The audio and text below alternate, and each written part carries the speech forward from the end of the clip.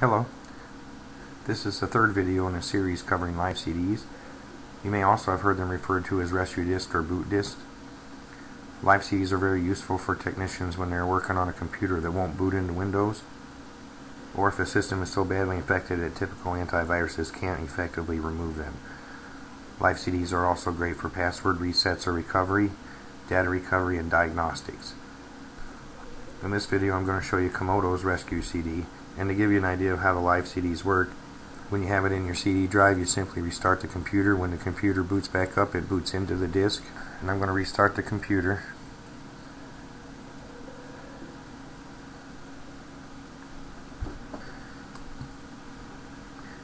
And this is the menu of Comodo's Rescue Disk. You have graphics mode or text mode. When the disk first boots up you have 10 seconds to hit enter or your computer will try to boot into Windows. So I'm going to leave enter the graphic mode highlighted and hit enter. Shit.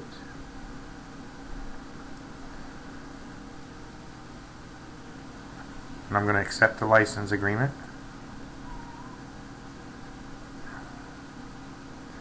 And it'll begin by collecting information on the system.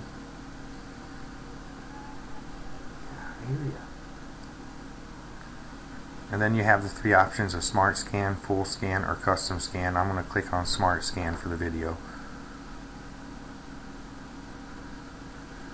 And while the scanner is updating and scanning, there's a My Documents folder up here in the corner if you open that and select the hard drive that has Windows installed on it.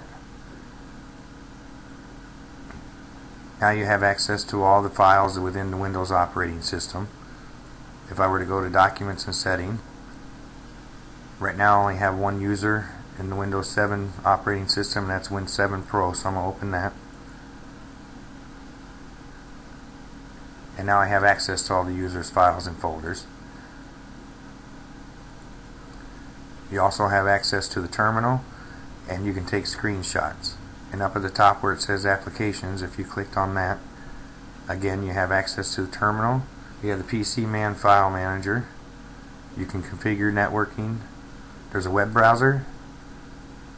You can configure your preferences. And then once again the screenshot.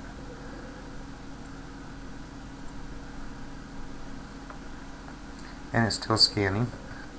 So I would suggest downloading it, burning it onto a disk, and then just kind of playing around with it, learning how to use it. If you're having troubles burning it onto a disk, or if you don't know how, Please see my video on ImgBurn. Thank you for watching. Have a great day.